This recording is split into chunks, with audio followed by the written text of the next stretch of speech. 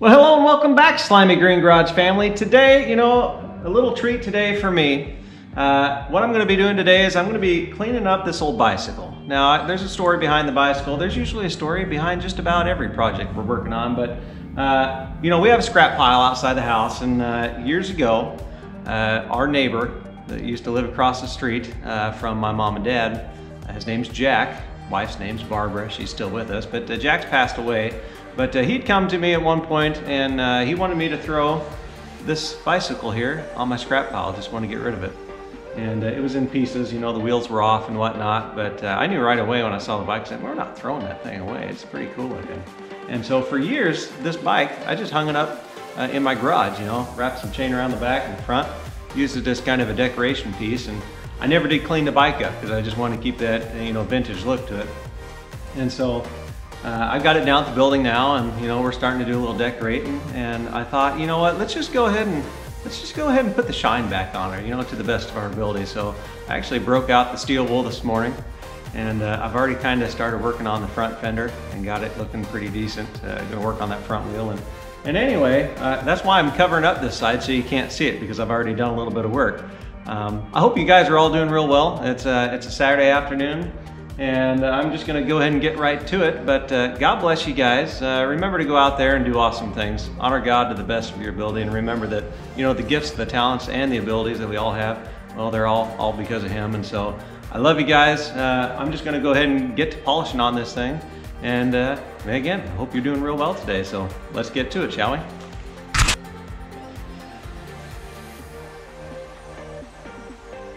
So before we get started on cleaning this girl, I just want to kind of do a walk around on this bike, tell you what I do know about it, which isn't much, by the way, aside from who it came from. I know the brand is Hiawatha. You get in there, it's still written on that that chain guard, uh, as well as on the frame here. Pretty neat design, actually. Uh, the bike uh, had, I assume, battery operated headlights on it.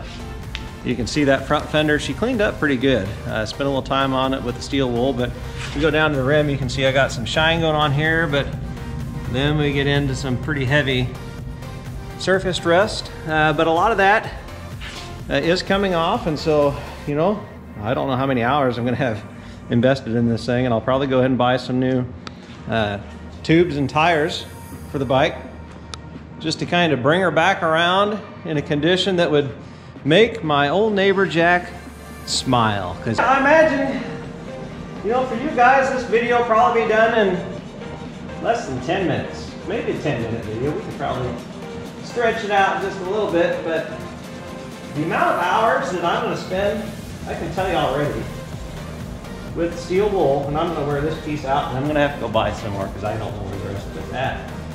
Uh, I'm gonna have at least an hour in just this one wheel, I imagine. There's probably some better tools out there, but I remember back when I was a young, stupid teenager, and you know, Cragar rims, oh man, those were those were the thing to have on your hot rod back in the day. Well, you know, we didn't we didn't have the money to buy new ones, but you could still come across, you know, a decent cheap pair, and you know, they'd have some pitting on them too, because well, that's just what they did. But you spend a little time with the mother's chrome polish and some steel wool on those rims and you can bring that shine back. But you had to earn it. Totally worth it.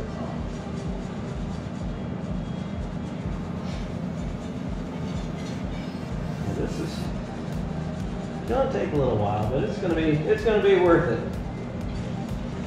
You know, the older I get, the more I realize things that are important in life, the things that aren't. And, you know, a guy, a guy could just go out and buy a bunch of new toys, and you know, nothing wrong with that. But sometimes just spending some time bringing something back.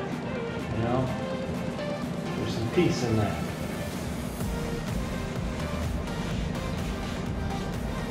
Not to cost cost us, but a, pretty much just our time today to shine this girl up.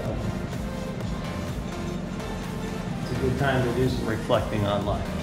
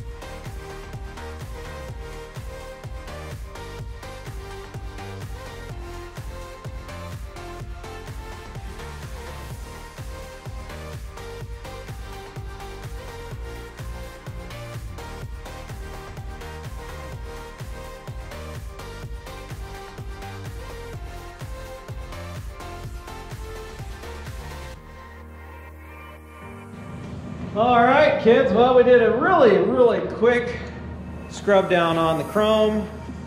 Now we're gonna just gonna get a little bit of this uh, rubbing compound if it's not frozen in the bottle, sitting all winter. And we're just gonna go ahead and try and do a little bit of cleaning up here on some of some of this paint up here. We just want to bring out just a little bit of the shine.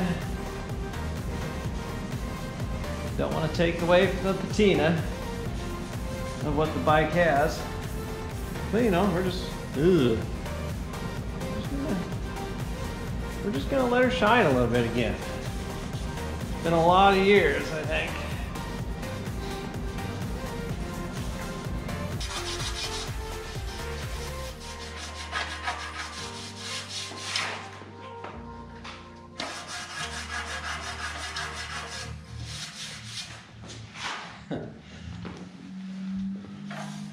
That's kind of special seeing the uh, bike come back to life a little bit.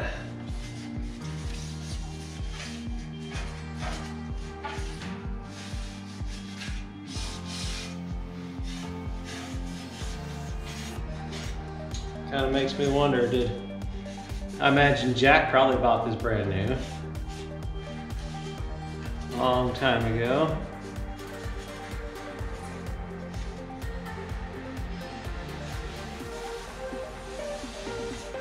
Think people just used to used to take care of their things better. At least I think people generally just had a better appreciation for the blessings they had in their life.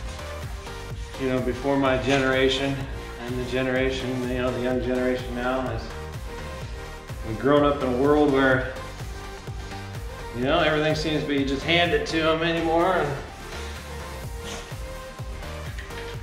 Well, I think it's just a much more difficult to have an appreciation for something that you never had to work for.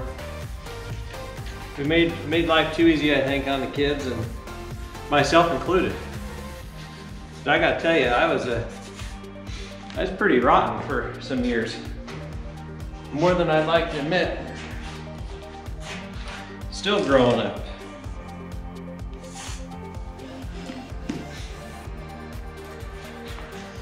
But God's grace has been sufficient.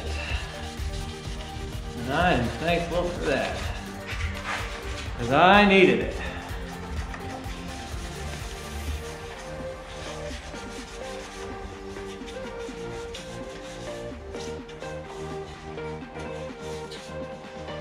I think we even get some WD-40 or something to spray on here. That probably just really help shine it up too.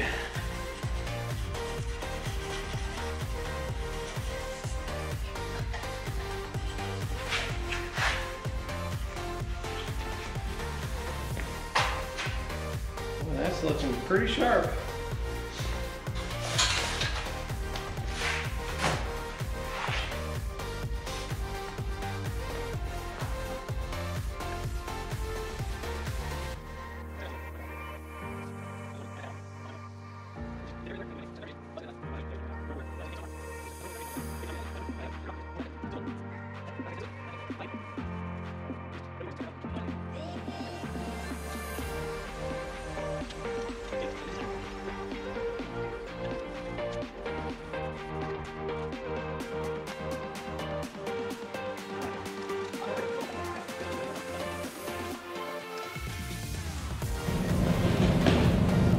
Well, there you have it, everybody. The end of our video on the old Hiawatha bicycle.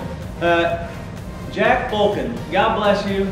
Thank you for leaving a little piece of something you enjoyed here for me to enjoy while I'm still here. Look, everybody, I hope that you had a really good day.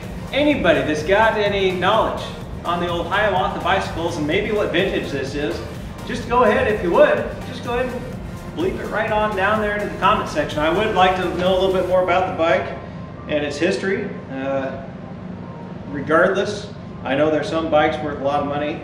This probably isn't one of those, and I don't, I don't care. Uh, this is history, and anything with wheels, you know, from this vintage, it's cool in my book, just like you all are cool in my book. God bless you. I love you guys. Have a great day. We'll see you on the next one. And until then, be awesome, do awesome things. Give all glory and honor to God for the gifts, talents, and abilities that He gave you. And uh, yeah, be a light shining in the darkness.